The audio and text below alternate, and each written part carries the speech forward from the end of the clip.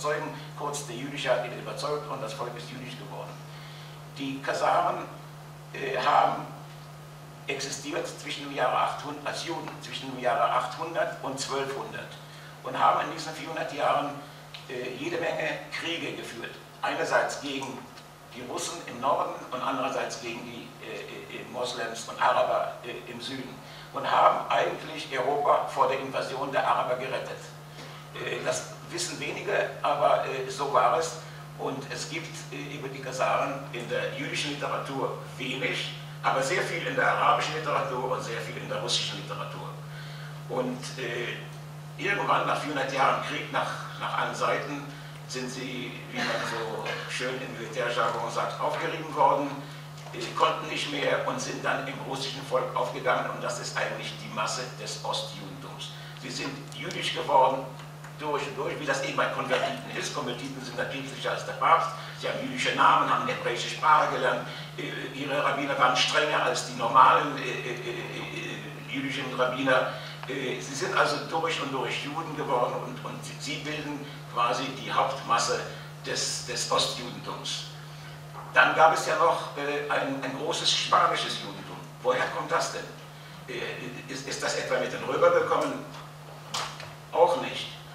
Das spanische Judentum entstand durch ein Berbervolk in Nordafrika mit einer Königin, die jüdisch geworden ist. Und dieses Berbervolk ist im Zuge der islamischen Eroberung und Expansion mit, den, mit, mit, den, äh, mit dem Heer der Moslems nach Andalusien äh, vorgerückt. Und, und das ist das spanische Judentum, also auch kein originär äh, äh, äh palästinensisches, althebräisches Judentum, sondern, an, an, sondern ein, ein Berbervolk, was jüdisch geworden ist. Und aus diesen drei großen äh, Konfessionen äh, ist natürlich die große Masse des kleinen jüdischen Volkes geworden. Äh, dazu kommt natürlich noch, dass auch in Europa, muss man sagen, in den Jahren, in dem, im ersten, zweiten, dritten und vierten Jahrhundert nach Christus war das Judentum eine sehr beliebte Religion, eine sehr beliebte monotheistische Religion. Und es sind sehr viele Römer und, und, und, und Einwohner äh, in den Kolonien der Römer äh, Juden geworden, weil es populär war, weil es beliebt war. Und, und, und, und äh, so sind da auch sehr viele äh, äh, äh, Nicht-Juden Juden geworden. Und darüber gibt es Dokumente, Literatur, Erzählungen und alles Mögliche. Das hat natürlich rapide aufgehört. Als, als das Christentum Staatsreligion geworden ist im 4. Jahrhundert und seitdem missioniert das Judentum nicht mehr, und, und, äh, aber da gab es schon eine, eine, eine Basis. Und das, äh, äh, darauf basiert quasi äh, das Buch von, von, von Shlomo Sand. Und natürlich haben gewisse Leute dieses Buch nicht gemocht, weil es natürlich äh, zumindest äh, den Anspruch auf das Land Israel, Palästina in Frage stellt, weil es sagt, ihr seid Kasaren, ihr seid Berber, ihr seid Jemeniten, wie kommt ihr dazu, jetzt nach Israel, auf Israel Anspruch zu stellen? Ihr habt da gar nicht diesen Anspruch, während natürlich die ganze äh, israelische Geschichtsschreibung, jüdische Geschichtsschreibung, später israelische Geschichtsschreibung sehr ideologisch und zionistisch beeinflusst war und später, als es den Staat Israel war, sowieso vom Staat äh, doktriniert und, und äh, darauf äh, hingewiesen, äh, dass man immer wieder darauf bestanden hat, die lineare Verbindung und, und, und, und Entwicklung des jüdischen Volkes von der, äh, vom, vom, vom Hasmonäerreich bis heute, das ist alles eine Linie, das sind alles äh, unsere Vorväter und das ist eben nicht der Fall. Das ist also für,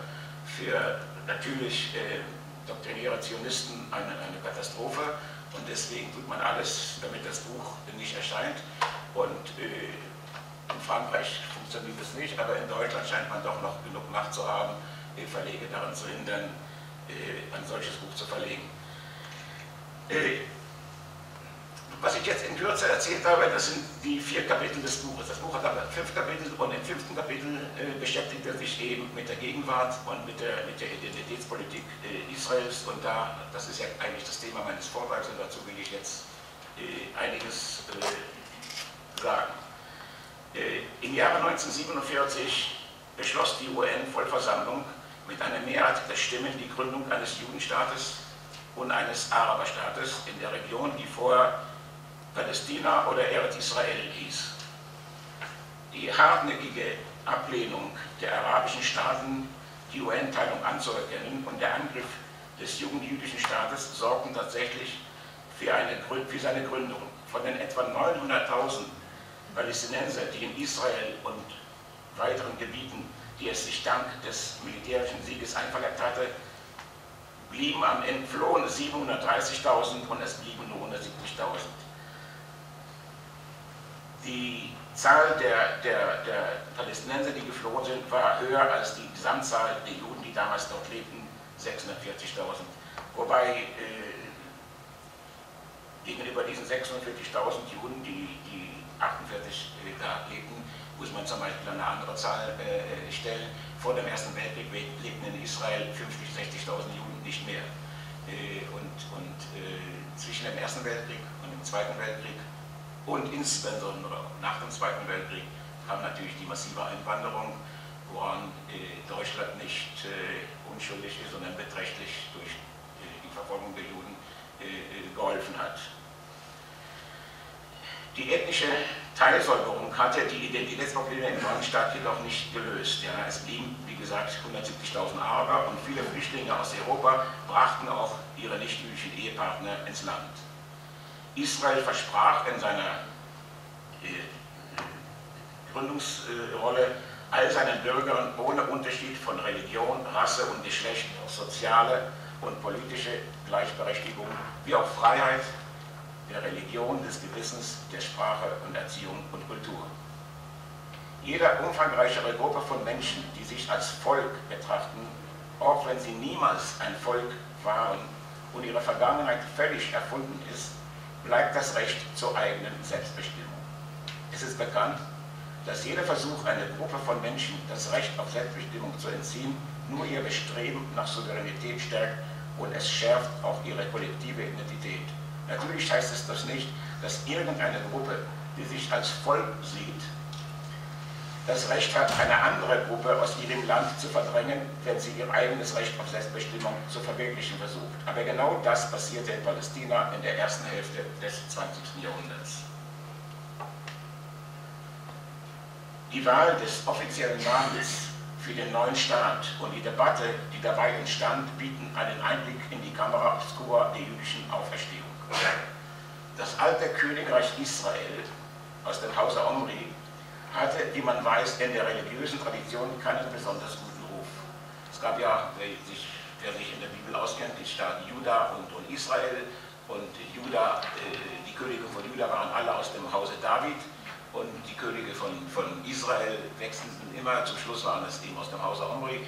Und natürlich in der jüdischen Tradition hat äh, der, der Staat Israel keinen besonders guten Ruf. Man beruft sich eher auf den Staat Juda, nämlich auf, auf König David und auf die Tradition des, des Hauses David.